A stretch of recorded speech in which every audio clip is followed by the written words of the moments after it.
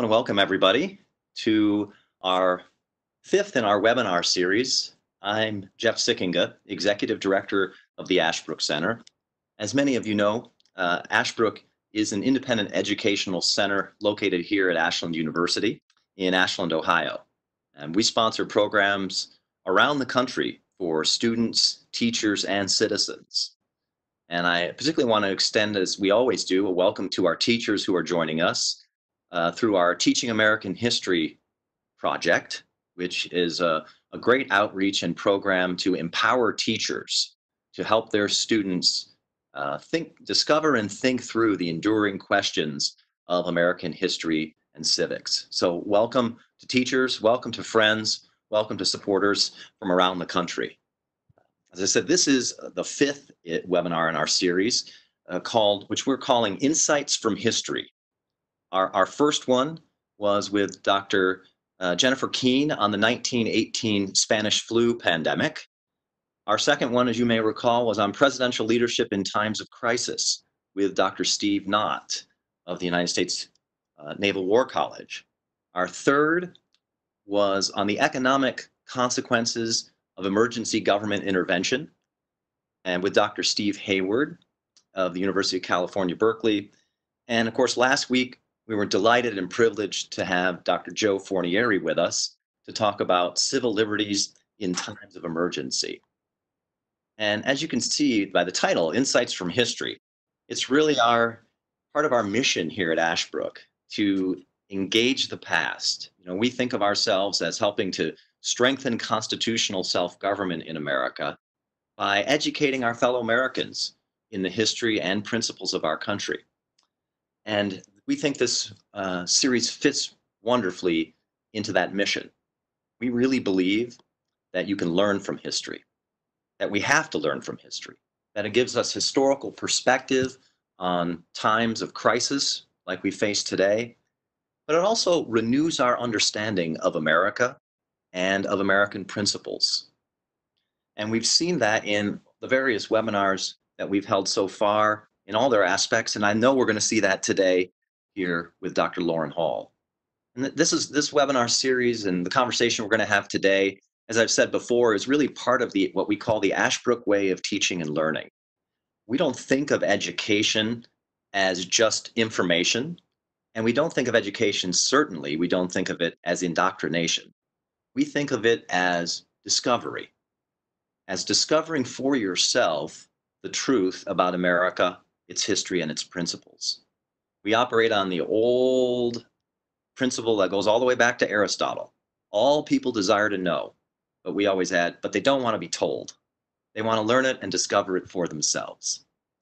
And so we're going to do that today with Dr. Lauren Hall. We're going to have a conversation. So I want to welcome all of you to that conversation. Encourage you to ask questions um, th through the functions there that you have on uh, on your technology. To send those in to us, and we will try and get to as many of those as possible and integrate them into the conversation that we're having. We're going to ask the past questions today. We've got some wonderful readings.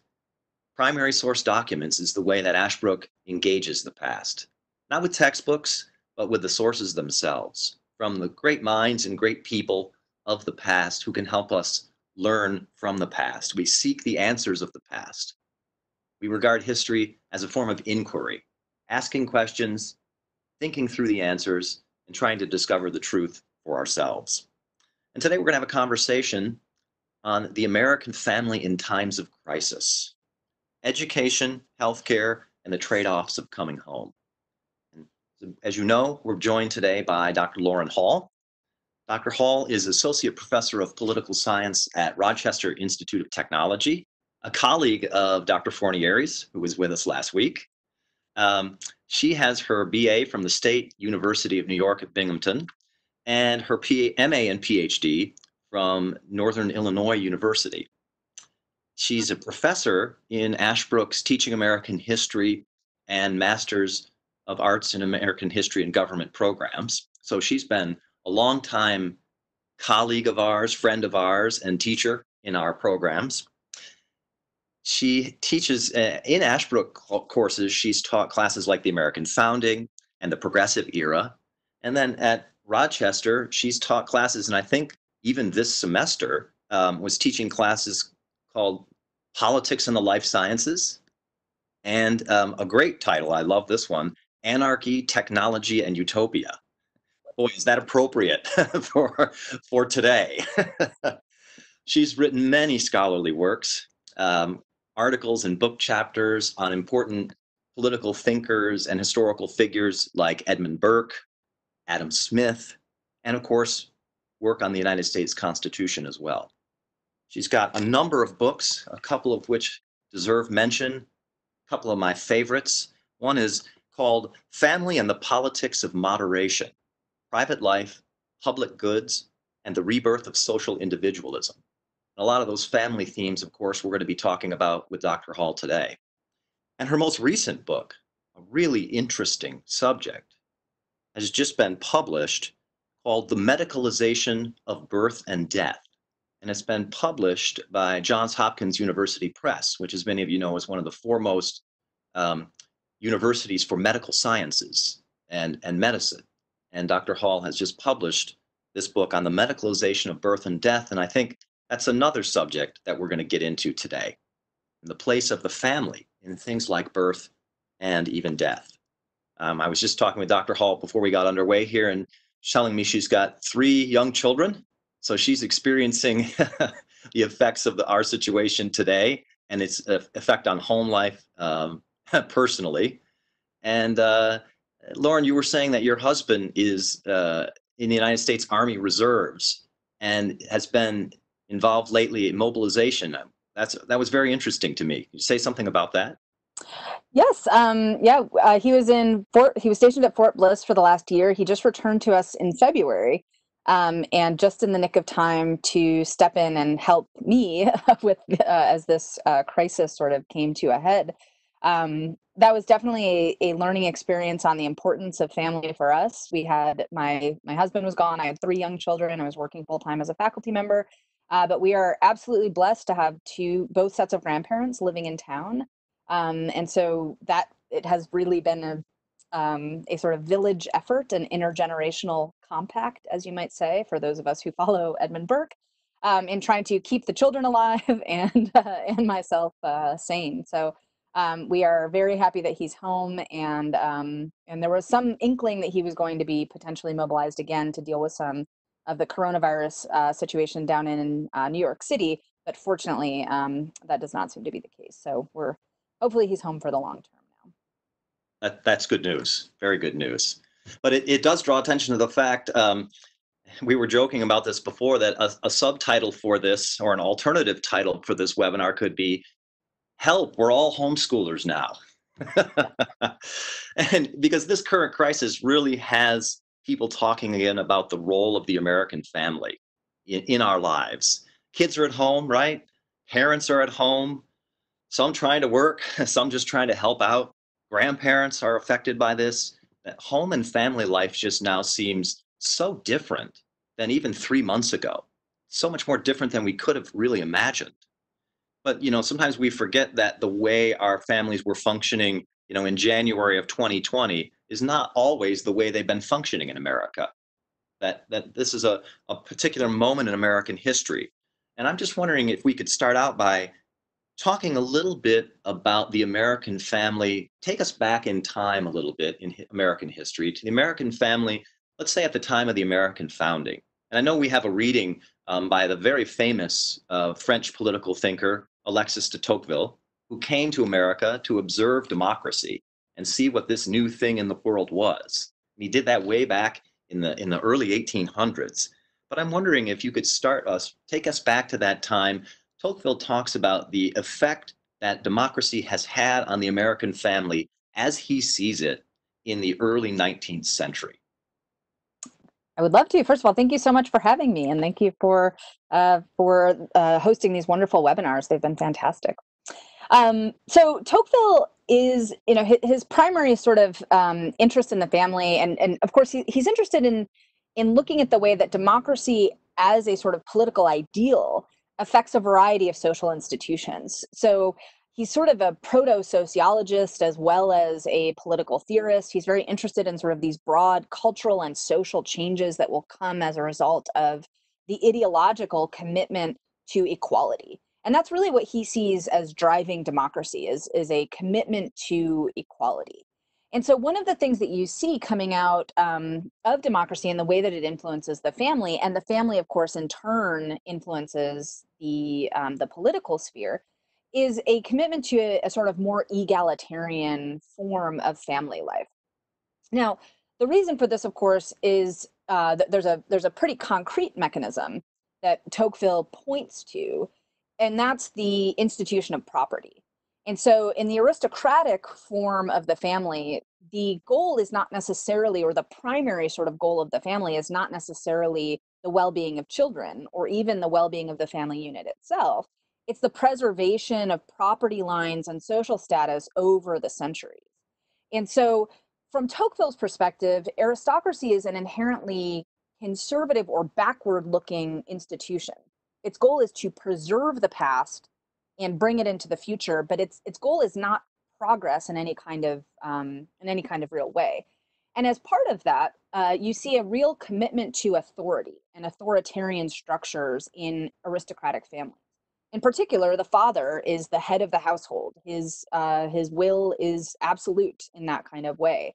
Um, and there's a very clear hierarchy even within the siblings of the family. You have the father and then you have the eldest son uh, that's usually enforced with legal uh, requirements like um, the requirement that the eldest son inherit the entire estate, because that's the only way to preserve that property and social status over the generations. And, uh, and so you have this very authoritarian system with a lot of emphasis on the father and the eldest son. In, and there's a kind of formality to this hierarchy that limits the amount of emotional intimacy that family members can, can have with one another. And so what Tocqueville finds when he comes to, to America is a totally different kind of family. And I think it's most clearly uh, described when he he ref, he he refers to it as free, familiar, and tender in the way that the son addresses his father. And so we have cast off this sort of this authoritarianism and part of that is because we don't have this landed property to worry about anymore um, and so we're not because we're not linked to because the needs of property no longer come first. Uh, there's a there's an egalitarianism both between the father and the son, but also with the siblings. And so the other thing that he sees are the habits of living that democratic peoples have with each other as family members. And so those habits of living include the fact that you are out there in the fields with your brothers and sisters. You are out there with your father uh, and you're engaged in the same kinds of labor and the same kinds of goals. And so that kind of intimate working together creates these um, these common this sympathy that he that he describes. And it's worth noting too that this is a really common theme at this time. Um, Adam Smith, for example, talks about the importance of sympathy in the family. Um, and one of his criticisms of boarding schools, actually, and we might talk about this later, um, is that boarding schools destroy the sympathy between siblings. And so you're sending children off at a time that they should be engaged in these habits, these familial habits with the people that they love, building that intimacy together. So Tocqueville sees a really dramatically different kind of family emerge from from democracy. It's it's egalitarian, it's focused on the present and the future as opposed to the past.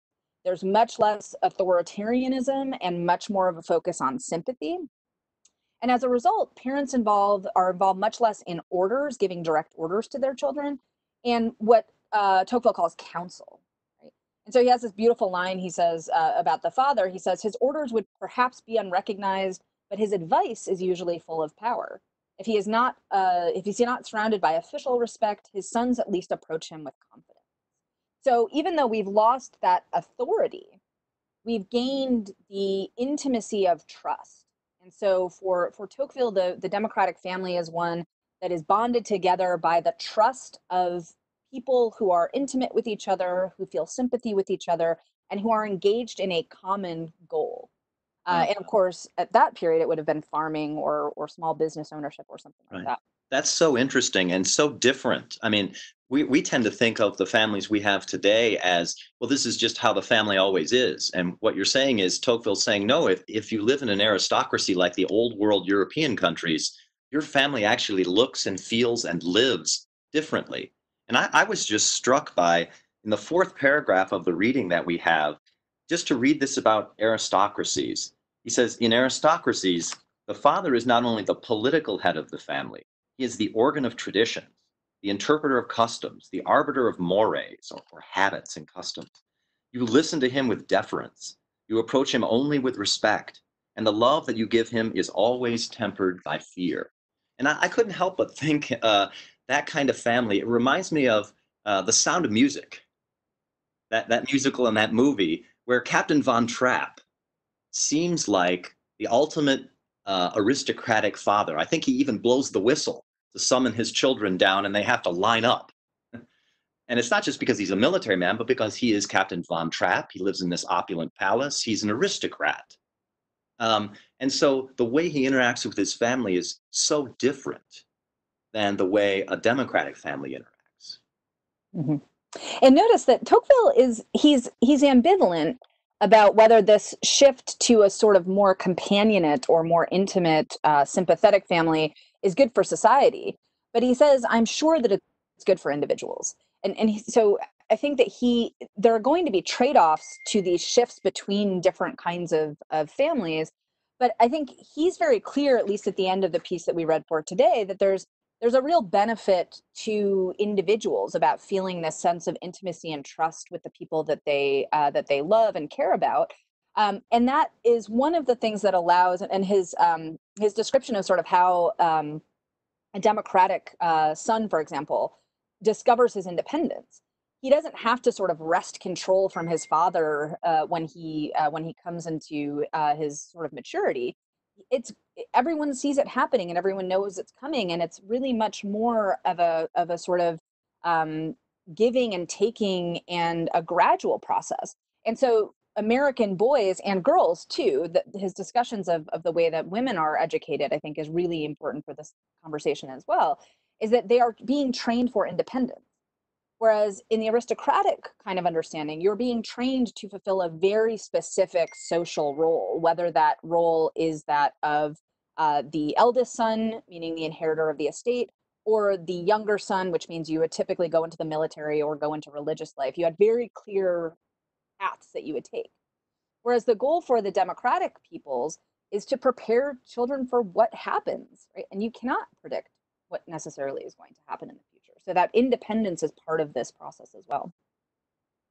That's so interesting. So, can we talk a little bit then about we have this democratic family that, as you say, is bound together by a kind of affection for each other, a kind of sympathy, but the kids are raised to be more independent thinking. And I think Tocqueville says, as you said, not just boys, but girls also. He actually says, I think, in one part of his book, the strength of America is found in the strength of her women. That if America is a mm-hmm. strong country, it's because American women are strong. Um, and I wondered, can you talk then a little bit about if we have this kind of family, how does it handle crisis? And we've had, because we've had so many crises since Tocqueville came, we have the Civil War, we, of course, we have World War One, World War Two what what are the kind of characteristics and of course crisis today what kind of um, how does the democratic family with those kind of characteristics how does it handle crisis? Well so i don't want to move us too far ahead too quickly but i think this leads us beautifully into the abigail adams letter that we that we also chose for this piece uh, because what you see in that letter is in fact a, a family in crisis um, so this is, of course, if you look at the background of this letter, um, the historical background, we're in 1777. Uh, the um, situation is very, very unclear for the um, for the colonists. Uh, they're at war. Um, uh, John Adams, of course, is is trying to uh, do everything he can in the first Congress. Um, he, of course, is under threat of being captured. Right? I mean, there's all sorts of very serious concerns of, of his safety. Um, Meanwhile, Abigail Adams is running a farm by herself. She has five young children that she's caring for, um, one of whom is her uh, her niece. She's pregnant, um, and she's nearing the end of her pregnancy at this point. Inflation is going through the roof. They can't afford farm help, and so she's doing the vast majority of the farming. Uh, she's making all of their clothes. She's uh, making all of their wool because they can't afford these basic supplies. So this is a situation in which the family really, when when the external crisis occurs, the family turns inward, and it turns inward in this really foundational kind of way. And I think you see that with the role that Abigail plays um, in keeping the family up and running. And part of the reason I chose this particular letter, there's a series of letters that lead up to this one where she discusses um, her fears that she has lost the baby, um, and then uh, and then the fact that she does in fact lose the baby. Um, I chose this one partially because it shows her just about two weeks after the stillbirth of their uh, last child, their daughter. Uh, they had both been really hoping for a daughter. They had been hoping for another another little girl to join her and uh, and their daughter Nabby. Um, and so in this letter, what you see is just this really sort of, I mean, in, in a sense, she's the ideal Tocquevillian woman. She's the ideal sort of American woman. Uh, she's been educated in the way that if you look at Tocqueville's discussion of the way that uh, that American women are educated, she was encouraged to read philosophy and poetry. She was very well educated in in literature and uh, politics, um, but she was also deeply rooted in faith and religion. And so when Tocqueville talks about the the American the, the way that American girls are educated, he says first they're given the use of their reason. And that's crucial because that's something he thinks that the european women are not taught. They're not taught to be independent thinkers. And he says but then they're taught religion. They're taught the use of their faith. And so their faith and their reason inform each other throughout the throughout these uh, throughout these crises. And so i think you can see that really beautifully in the in the um, adams letter. So she has a stillborn daughter uh, sh- her sisters, of course, come for the birth. Um, she it's a multiple days labor, so this is something that she is laboring in. In fact, in one of the letters prior to this, she pauses in the middle of a contraction to she pauses the letter and then comes back to writing it. So she's in labor while t- while writing letters to her husband. Wow, you mean um, she's actually interrupted in letter writing by giving birth? Yes. Yep. Amazing. Yes. Uh, and then she just keeps going. So um, so you see here this and, and the letter itself moves seamlessly through a variety of themes that i think you see in the way that the american family internalizes these kinds of crises. So you have this extreme tragedy that she is obviously still suffering from. Her other letters are are sometimes just despondent at the loss of this baby. Uh, the other children are deeply affected by this and at the same time, she still has to pay attention to the loss at Ticonderoga. She still has to pay attention to rising inflation and the fact that there aren't enough farm workers. Um, and then she still manages to end on this note of optimism, a joke that actually plays from a letter that he had sent a few months before about when he returns to be a farmer, she can be a dairymaid, right? And this sort of ideal of a simpler life that they could have together if they weren't living in the midst of this of this crisis so i think it sort of demonstrates all of the the the beauty and complexity of what tocqueville saw going on in this very new family form where uh, and, and again part of what's so new about it is that in in europe at least aristocratic europe women wouldn't be capable of doing this degree of of sort of independent labor because there was such a strict separation between education and manual labor but here you have someone doing both of those things in in every possible capacity, right? She's not just giving birth, she's keeping the farm going, she's haggling with merchants and doing all of the home economy. Uh, she's also um, uh, investing and uh, starting to uh, to inquire about some land sales and things that will eventually set the Adams family up to uh, for financial independence. So uh, this is just a a Renaissance woman, and I think someone that that Tocqueville sees as uniquely American. That, that's amazing because she's probably also at that same time making sure that her children get educated as well. And I wonder if you could say a little bit more then about a family like that in time of crisis how are the children being educated? Are they are they working with their mom out in the field and then also reading? Is she directing it? As you said before we sometimes think of a person like john adams well he must have been a rich guy. He must have had a lot of servants. And you're saying that in this time definitely not. Yeah, he actually, there's a few letters that Adams writes. Um, he, he wrote uh, one to Jefferson, for example, when he was he he was desperate to get home from the Congress, and part of it was that he he found it very difficult to to look around at other people's families and realize that his his children were growing up essentially in poverty because he couldn't his law practice wasn't bringing in any money anymore. So all of their funds they were essentially living off of savings and what small amount they could they could earn from the farm uh, and they were probably eating most of that because they're they couldn't afford food from other sources. So it's it's actually a re- very desperate financial situation for them um, and so of course there's no tutors there's no there's no ability to hire outside help at this point there's no um, and so all of the work was being done uh, by Adams. And so the importance of having, and uh, John Adams mentions this where he says uh, he, he's frustrated that he can't be at home to attend to his children's education. Uh, so he would have been homeschooling them if he had been if he had been at home. So now all of that is falling on Adams. And this is another, I think, piece of what what Tocqueville talks about in other parts of his work is the importance of educating women. Because if you don't, you leave them completely bereft if, for example, their husband goes away, or if he's called away to war, uh, or if he dies. Uh, women need to have that ability to sort of stand on their own two feet. That's echoed also um, in Elizabeth Cady Stanton's Solitude of Self. She makes that that point as well. That if you don't educate women, uh, they will not be able to do the kinds of things that we expect them to do in American life.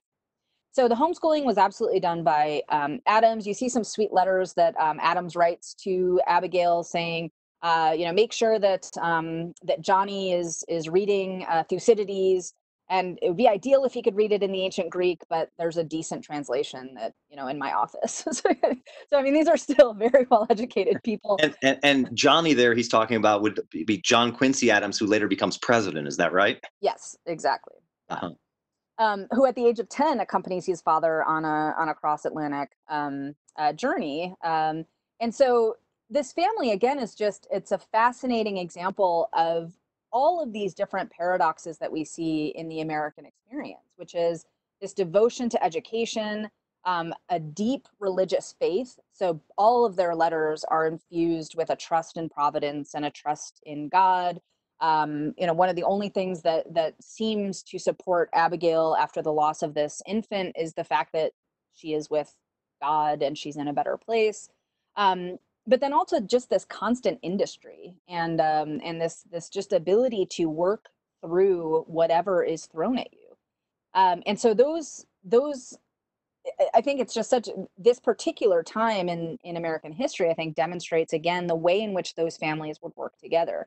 The other thing that I think you would absolutely see, um, and this doesn't come out as as much in the letters, but you see it in other historical documents, is that frequently the older children are involved in homeschooling the younger children uh, um, throughout the day, and so so there's a reciprocity between teaching and learning that happens in that kind of homeschool environment. And so it's not just a bunch of people sitting with their peers learning from a superior it's this reciprocal learning and teaching that happens when you're working with younger siblings and then also working with your parent and so on and so forth mm, uh, one one uh, some one of the folks wants to know and it sounds like what you're saying is uh, uh is the Adam situation typical for that day and age um, because it's it's sort of how American families are then or is it uh, somehow exceptional You're, you seem to be suggesting no actually they were much more typical than what we might think. And that's how a lot of American families live their lives then.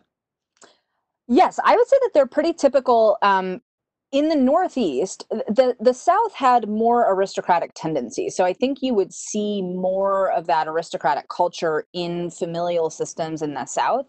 But certainly in the Northeast and, and also out in the frontier, I think you you saw this even more in a lot of the um, the frontier life. And, and there's an interesting sort of pattern, which is that if you look at the states that, for example, where women had the most early political rights, they were typically the frontier states because women were very often left alone for very long periods of time and they had to farm by themselves. They had to be able to be independent and they couldn't rely on men for their legal and political protection. And so I think that that sort of necessity is what bred this this independence. Certainly the Adams family is unique in a few respects. I mean, um, Abigail Adams was very, very well educated for a woman of her um, of her position. Her father was um, uh, was a pastor, um, and so th- this um, education was very much part of what attracted them to each other.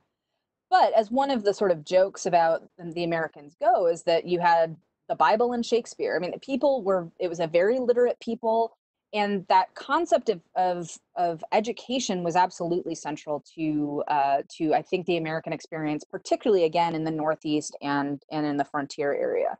So I don't think that they would be at all what we would consider um, uh, unique in terms of the role that Abigail plays in in keeping the family going, but also in the way that they interact with their children.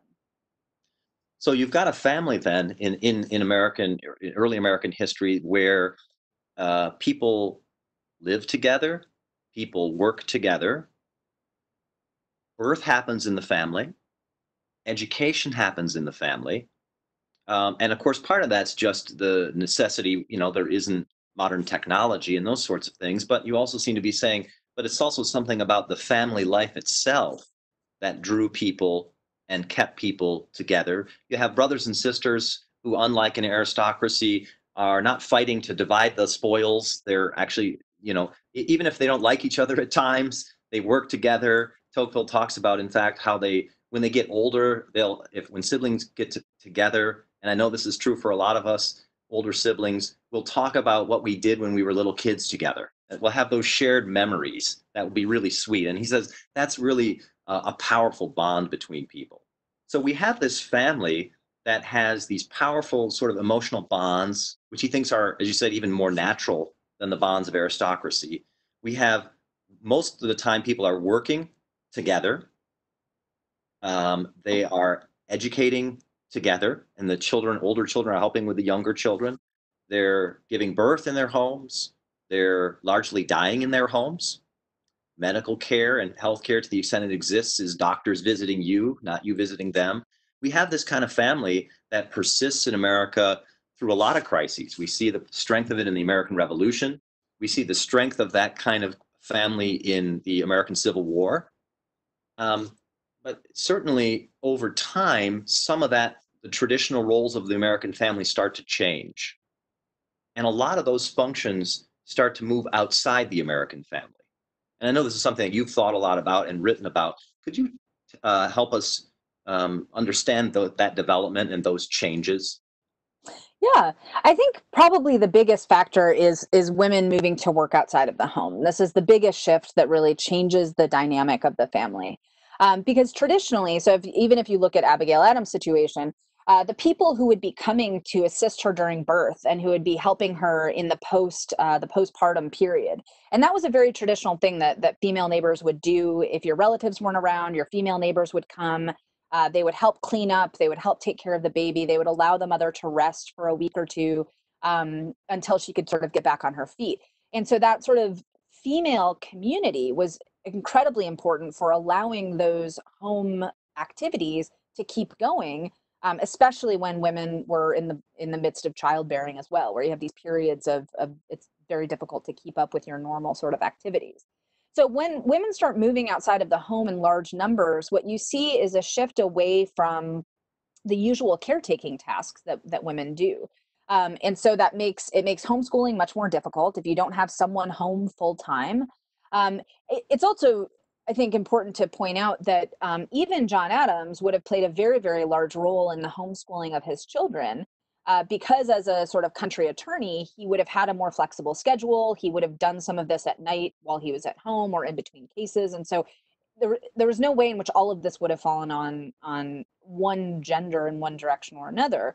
But it's certainly true that when we started moving into primarily office jobs or manufacturing jobs where we have a nine to five workday, that means we are out of the house for long periods of time, homeschooling becomes more difficult. And then once you get women moving into that same work environment, uh, those those uh, the ability to be at home and to be doing those kinds of caretaking activities uh, is is very much gone.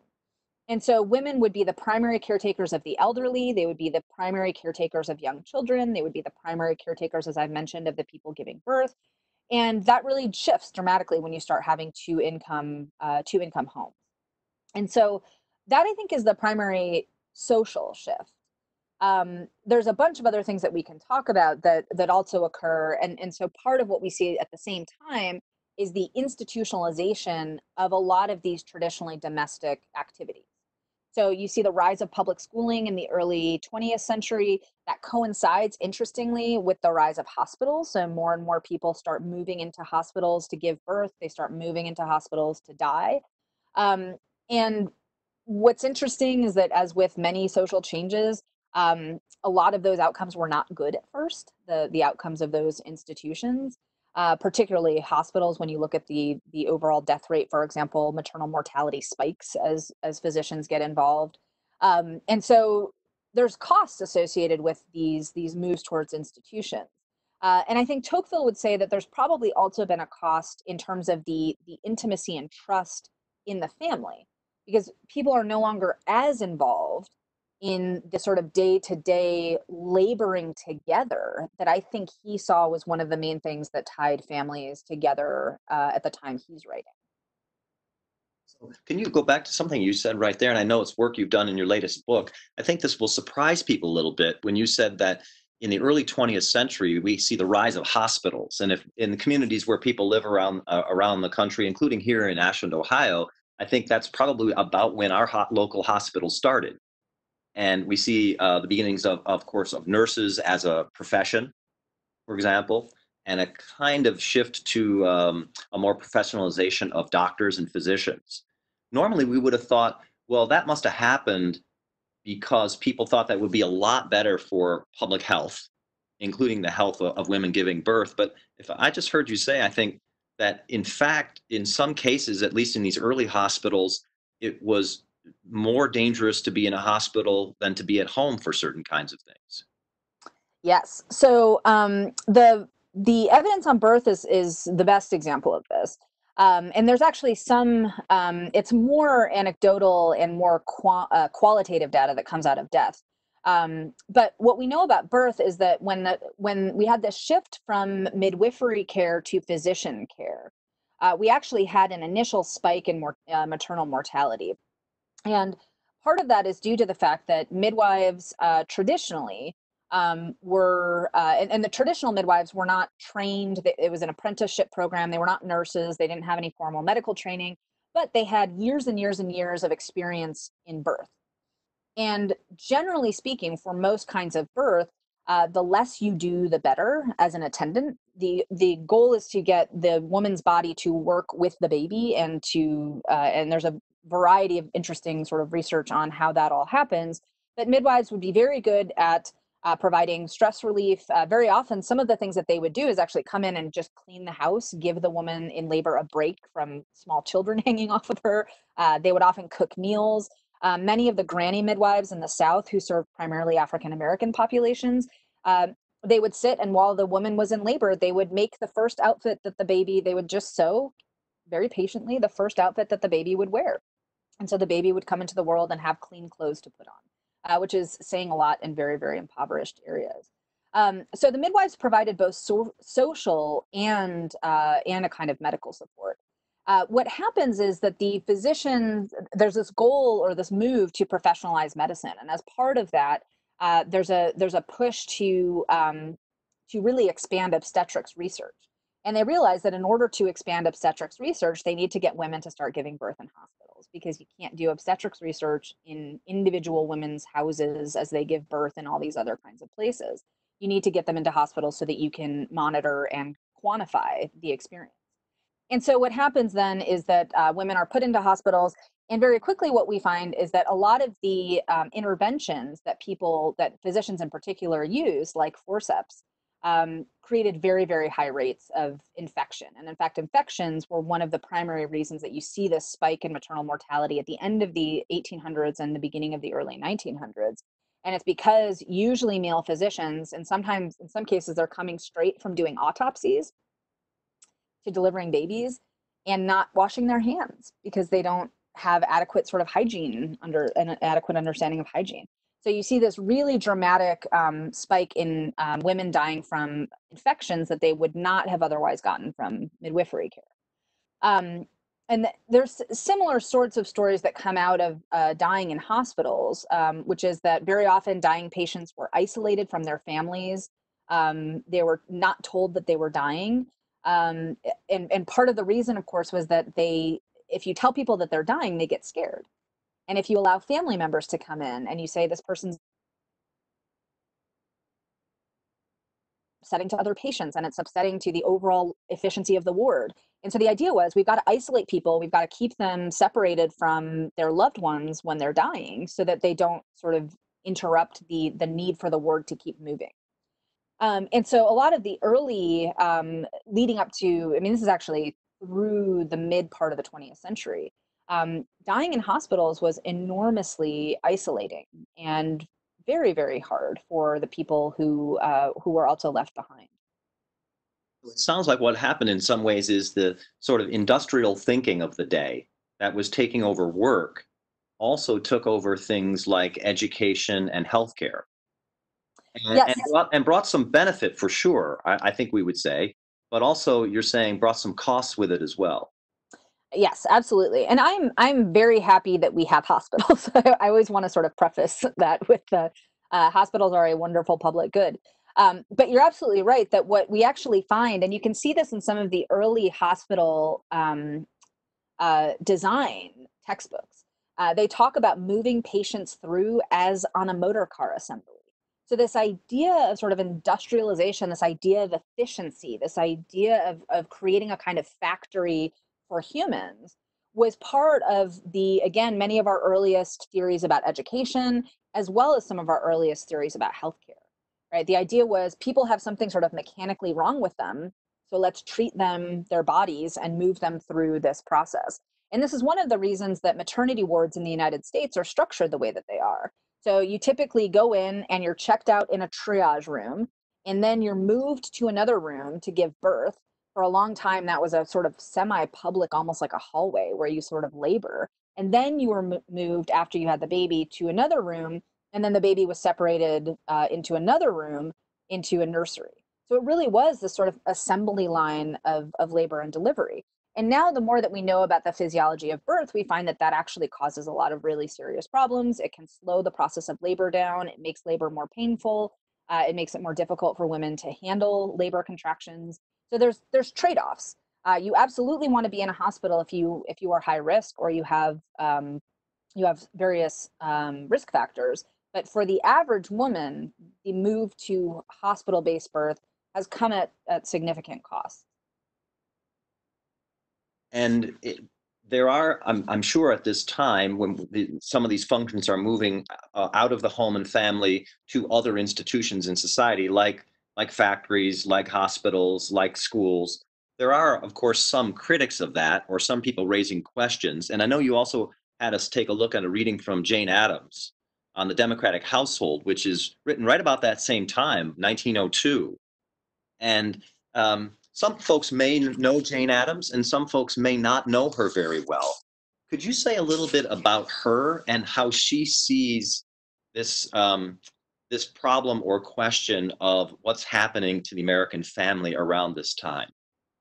Yeah, so um, so Addams is of course one of the the major sort of um, uh, members of the the social branch of the progressive uh, movement, who's very concerned about the status of the poor. She's very concerned about the growing inequality between, um, particularly in in urban areas, between uh, the um, the rich and the poor.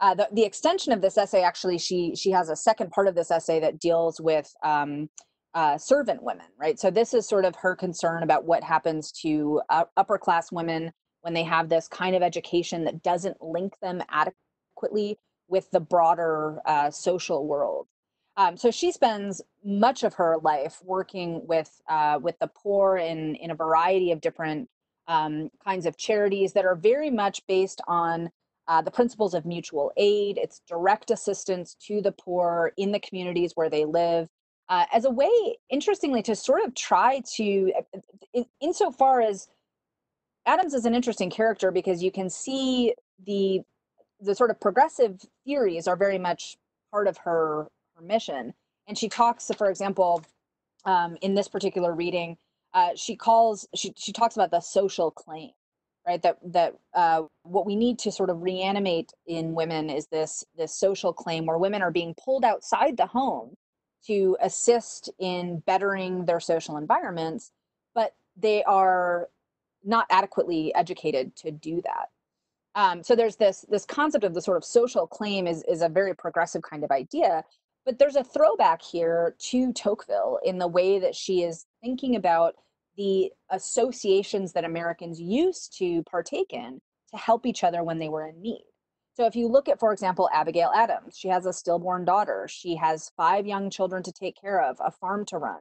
Well, what happens? Her neighbors come in, her sister comes in, right? She has relative, extended relatives who come in from outside. They keep the family from falling into destitution for the two weeks or so that that Abigail is is sort of out of commission um, as a result of this. Presumably, they also bury the baby, they conduct the funeral rites, and, and this was all mutual aid. She didn't hire people to do this. And one of the criticisms that Addams has of urban life is that we've lost those mutual aid connections. And so people, especially the very poor, no longer have that community to fall back on. And so a single crisis, um, like for example, a stillborn baby, could throw a family into uh, into destitution, um, depending on how on, on how um, serious the harm to the mother was. So I think Addams' concern is um, is very much about the the way in which urbanization uh, and industrialization has changed the family, has made it more vulnerable, um, and the way in which a lot of these uh, families that used to be independent farmers and or independent business owners are now working for large corporations or and, and they're just vulnerable in a way that they weren't vulnerable before. So in Addams, I think you see this this move back toward a kind of concern about um, civil society and civic associations. And she's also critical of the way that especially upper class women are educated. Because if you notice, one of the things that she says here uh, in this particular, find this particular quote, um, she says at the almost it's the second to last paragraph here. Uh, she says, doubtless it, uh, women's education is at fault in that it has failed to recognize certain needs and has failed to cultivate and guide the larger desires of which all generous young hearts are full.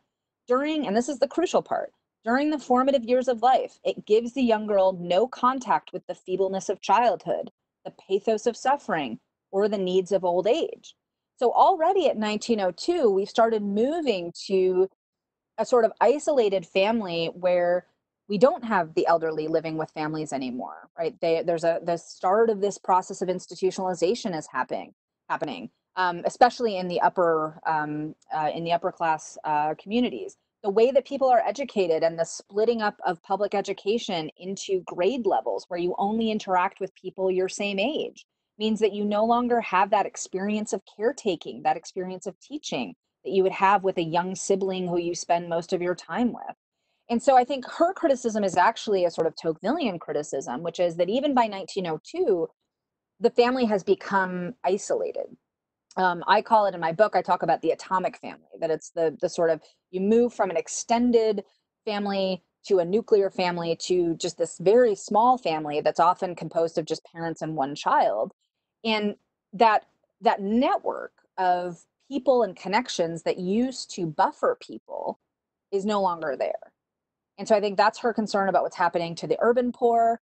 And that's her concern about specifically what's happening in the education of the elites is that they they cannot feel sympathy for the urban poor because they're not being taught sympathy in the family to begin with. Hmm.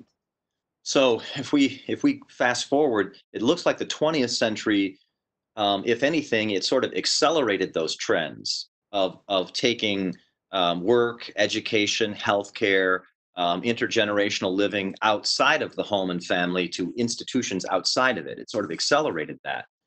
But now we've got this crisis. And now kids are at home. Now parents are at home. Work in many ways for, for those who are able to work from home has shifted back to home. Teachers who are joining us now, no doubt, are still teaching their students, but they're doing it in very different ways, probably from home. So um, lot, folks have been asking questions is this moment uh, uh, uh, in our history a time where do you think we'll see any reevaluation of this trend? We have seen some movement toward things like um, uh, in-home births. There's been some movement like that. There's been some movement, obviously, toward homeschooling before all this started. But do you see this crisis as somehow um, helping us to think back toward that view of family and family life in America? Uh, do you see that happening?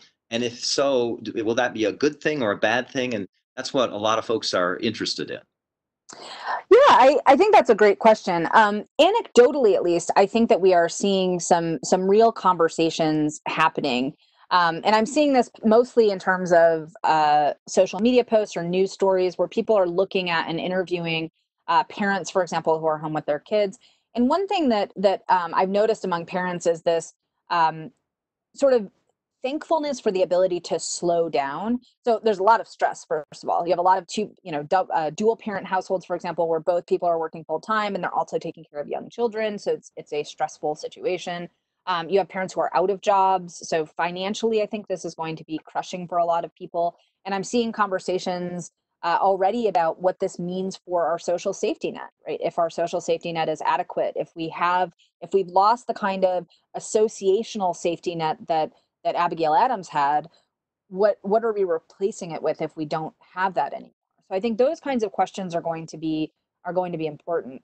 Culturally, though, I think we are seeing we've already been seeing this shift. So home births are are rising across the nation. Uh, they're they're actually dramatically increasing during this period because of fears about whether hospitals are safe uh, to give birth. So I think you're already seeing that happen, and I think that trend will continue. Um, homeschooling in general is increasing uh, and has been increasing steadily over the last um, uh, 10 or so years. So I think we're going to start seeing more of that. Um, people though that I that I know who homeschool uh, have have sort of noted caution, which is please don't think that what we are doing right now is homeschooling in the sense of trying to sort of limp through without a curriculum, without a lesson plan, without adequate preparation and without the ability to take kids outside and go places. So most homeschoolers would say, you know, this is not the homeschooling that we do, right? We go to parks and we go to um, the zoo and we have Latin lessons with other kids in the neighborhood, right? And so it's an incredibly social kind of um, kind of thing. And so so it, it's not fair to compare what we're doing now with what homeschoolers do in real life. But I think one of the things that that people are coming, or one of the things that I'm hearing at least, uh, is a a sort of happiness that there is at least a home to come home to, and a sense of of peace at the that, that sort of sense of intimacy and trust is coming back. So for the first time, people are actually looking at how their children learn, for example. Um, they're trying to see in, in real time sort of what teachers are doing in the classroom and then sort of adapting those to their children. Um, I'm seeing some parents concerned for the first time about the amount of homework and schoolwork that children have. And maybe children should be spending more time playing and outside than doing some of the work that we are requiring um, in public schools. So I think some of the reasons that people are homeschooling are becoming more obvious as parents are now in the throes of trying to figure out how to navigate uh, the shift from public education to whatever we're doing right now, which is not really homeschooling in the traditional sense.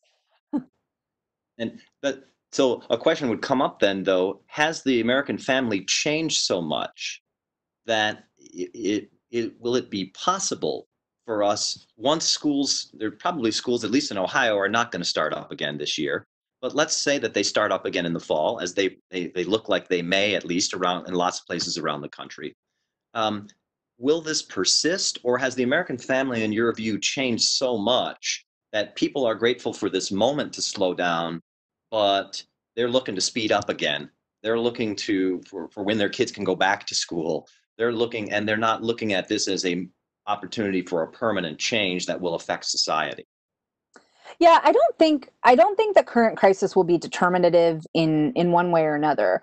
What I do think, though, is that the trends that we saw before the crisis began will continue after the crisis. And those trends are a move toward bringing people back home. So, a move toward having the elderly move back in with relatives, uh, a move toward more homeschooling. Um, a lot of people are playing with part time homeschooling. So, a lot of districts have actually opened it up that you can do a sort of blended or hybrid approach because they're getting pressure from taxpayers. I don't want my kid in school full time, but I want to be able to send them for maybe two days a week or something like that. So, I think we're starting to see people realize the importance of and i know from from a personal perspective both of my parents worked. I grew up in daycare and then um, and then in public school my whole life, uh, and that that experience deeply affected the way that I think about child rearing. Um, and it's no blame on my parents, but I I felt a deep longing for home throughout my childhood. And I think a lot of people who are raised in that 80s, 90s kind of uh, sort of uh, industrial factory kind of um, way of life where we we all work outside the home and everybody sort of goes into an institution during the day um, i think a lot of people are tired of institutions they're tired of of living their lives sort of surrounded by anonymous people uh, or sort of acquaintances and so there's a deep sort of longing for that intimacy and connection that tocqueville talks about in that original family so I think that's part of the reason that we see this expanded interest in homeschooling and expanded interest in home birth. Um, one of the biggest um, uh, growth recently has been in hospice, bringing people back home to die so that they can be in a familiar environment, so that they can be taken care of by people who love them. And that has exploded over the last um, 20 or 30 years. So I think all of those signs point to a rejection of the sort of institutionalization of family life and at least some attempt at rediscovering what it means to come home. We one one question has been raised about that, and you mentioned the importance. Uh, Tocqueville talks about it for Americans of faith and religious faith, and the practice of it in their houses. And of course, a lot of people in this current situation, uh, folks who may uh, attend church or synagogue, they are not able to do that by and large in most places, at least not yet. And so we've seen a lot of um, you know uh, even my family going going to church but online um, so uh, a person asked a question do you think that there may be some revival of religiosity or religious uh, elements within families as a result of this crisis because again it's not going out to church it's sort of doing church or or your faith in in the home mm-hmm. Yeah, I'm actually not sure how this is going to affect. Um, I, I do think that that typically when in times of fear and sort of uncertainty, I think we do tend to uh, to come back to a faith in in something greater than ourselves. Um, I think it's worth noting that, that one of the reasons that you see over and over again, in for example, survey data about why people want to homeschool or why people want to, for example, um, uh, do home hospice, uh, is because of faith considerations uh, or a belief that uh, that that there isn't enough of the moral content, um, whatever that moral content looks like, um, in these institutions. And so I do think that. Um, I mean, I, I feel a deep longing to get back to uh, get back to church in a physical sense. So that this has been very difficult, I think, for a lot of people in a lot of different faith communities, is to be separated from each other in this kind of way. Um, and I think I think it's possible that we will see a, a sort of gratitude when we can eventually come back together. Uh, that that that will sort of instigate some kind of uh, increase in, in faith overall. Well, let's hope that time is sooner rather than later. let's all hope so.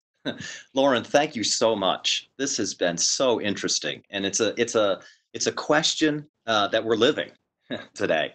And so I just want to thank you so much for taking the time to join with us today. I know we have so many questions from folks that we weren't able to get to, but hopefully we addressed some of them and hopefully got a chance to talk about some big and important ideas and issues uh, that are on people's minds today. So again, thank you very much for joining us. Thank you so much for having me. This was wonderful. Of course. And folks, I just want to again say if, if you want to learn more about the Ashbrook Center, um, please check out our website, ashbrook.org It tells you all about what the center is and the kind of programs that we're running around the country for students, teachers, and citizens. And also, um, if you're interested in finding resources on American history and civics, uh, please check out teachingamericanhistory.org, TAH.org. A lot of our teacher friends and partners who are out there now know that website. It's a fantastic resource. It's the largest collection of primary source uh, American historical documents in the nation. Uh, over 2,500 of them. So if you, again, if you're a parent or a grandparent or a friend who's involved in homeschooling right now, teaching kids, or if you're a teacher who's doing your great work online now, um, please avail yourself of those resources. Check it out, tah.org. Uh, it's a wonderful resource. And uh, we will also be, of course, sending, recording today's uh, webinar, and we'll be sending folks a link of that recording. And please, if you want to listen to this again, if there's something you missed, if there's some particular thing you want to think about again and listen to, or share with your family, share with your friends, please do so. We would be delighted by that, and we'll be sending you that. Our, our next, I'm really excited to talk about a little bit about our next series. You know, we're, we're going through this Insights uh, from History series. Our next series, I'm delighted to announce today, is through the month of May, we're going to be focusing uh, our series called American Heroes. And we're going to take a moment to focus on Americans who maybe you've heard of, or maybe you haven't heard of. And if you've heard of them, some of them you know, but maybe you don't know the full story. Maybe you don't know all there is to know about these really amazing and interesting Americans who have done important things for our country. So we want to take some time in the month of May to, to meet some great people from our past, to hear their great stories and their inspiring stories, and get a deeper insight on what it takes to be a hero, what it means to be a hero um, in moments of crisis and in, in moments of importance in American history. So we want to take some time and, and we want to have the kind of webinar conversations that we had so wonderfully today with Dr. Hall. And the topics will be, I think, really interesting to folks. We're going to talk about um, heroes of the American founding and what kind of people, a little bit like we talked about today, did it take to successfully conduct a revolution and then actually build a government out of that? One of the great successes in, in world history. A lot of revolutions don't end well, as we know, but the American Revolution ends well. And how is that so? Uh, another topic we want to talk about is American war heroes. To take a step back to, to look at some really impressive lives of folks who have served and sacrificed for our country and, and take a look at those. How did ordinary people do extraordinary things in times of life and death situations? We want to talk about heroes of American business. You know, what does it take to start a business, to create something like that, and then run it in really difficult times? Again, the sort of problems that we see today confronting folks in business. And then heroes of American medicine. We talked a little bit about this with Dr. Hall today, but we want to focus on a few of those folks who, you know, what does it take to care for the sick in a crisis in the way that Dr. Hall talked about today?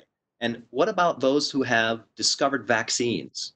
We want to tell the story of some Americans who have discovered vaccines. And of course, that's a really important and pressing question on people's minds today.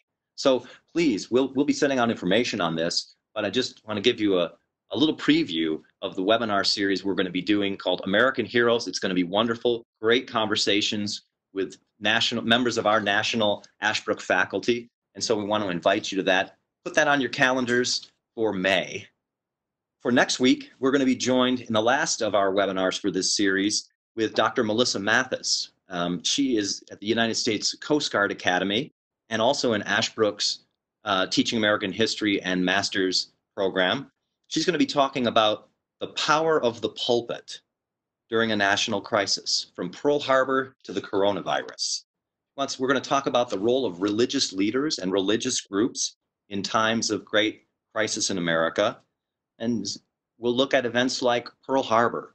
We'll look at events like Vietnam and 9 11. And we're going to look at some sermons by ministers such as uh, Howard John Wesley and Billy Graham. So it's going to be a wonderful conversation on this really important topic of the role of communities of faith in times of in crisis in American history. Just as we had such a wonderful time today talking with Dr. Hall about the role of American family in times of crisis. I want to thank you for coming. I thank Dr. Hall again for a wonderful conversation. And I hope all of you, as always, will stay healthy, stay hopeful, and stay connected with Ashbrook. Thank you. Look forward to seeing you next week.